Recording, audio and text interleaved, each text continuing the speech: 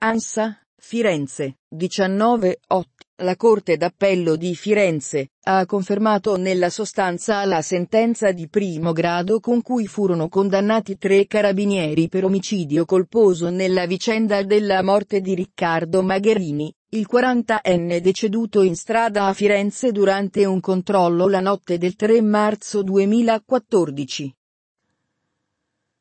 Condannati quindi i carabinieri Vincenzo Corni a otto mesi, Stefano Castellano e Agostino della Porta a sette mesi ciascuno.